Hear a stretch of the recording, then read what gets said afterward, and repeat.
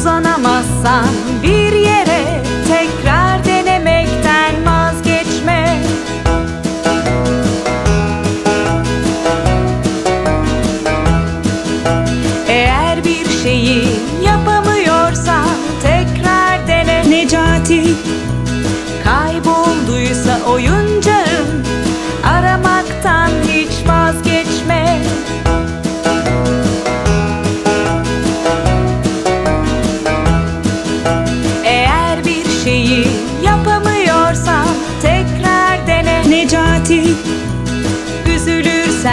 da sıkılırsan annenden yardım iste.